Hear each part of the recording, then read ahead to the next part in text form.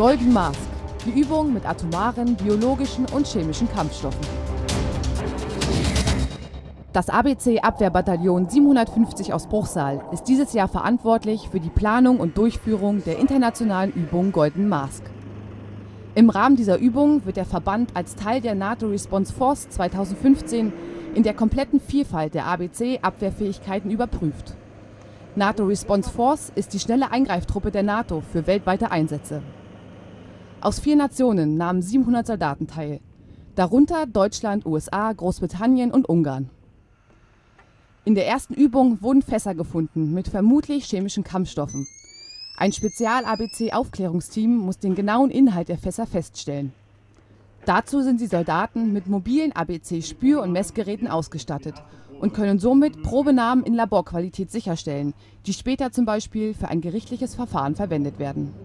Nach jeder Übung mit chemischen Stoffen ist der Dekontaminationszug gefragt. Im nächsten Szenario wurde der leichte ABC-Abwehrzug von besorgten Anwohnern gerufen. Hier sind die Soldaten gefordert, einen chemischen Gefahrenstoff zu finden und genauestens zu analysieren. Der Stationsleiter erklärt die Aufgabe. Wir haben hier für die Soldaten das Lagebild so dargestellt, dass wir eine verlassene Tankstelle haben, in der sich unbekannte Materialien befinden, deren Gefahr noch nicht eingeschätzt ist. Die Soldaten werden hier den Auftrag haben, zu überprüfen, welche Gefährdung geht hier für eigene Kräfte aus. Es wurden keine gefährlichen Stoffe gefunden. Der leichte ABC-Abwehrzug hat die Aufgabe bewältigt und somit diese Prüfung bestanden.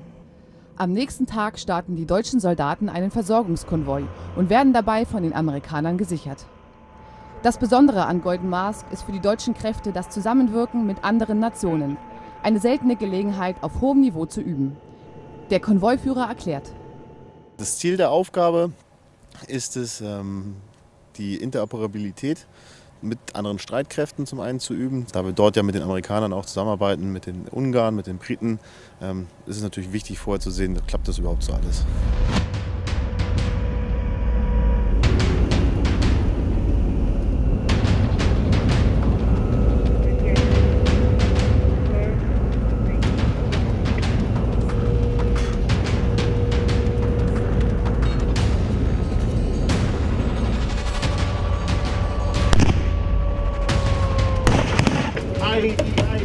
Through, break through.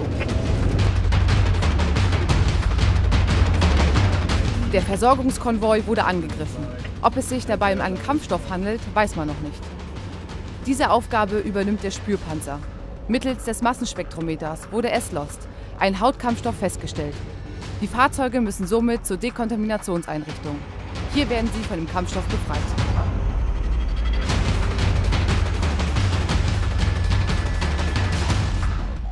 Der Führer des Konvois ist mit dem Verlauf zufrieden.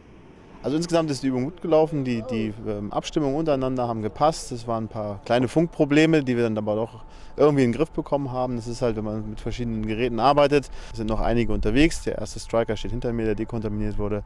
Also alles im Allen, die, dieses Interoperabel, was wir testen wollten, was wir auch üben wollten, ähm, ist, denke ich, bestätigt und können wir guten Gewissens weitermachen.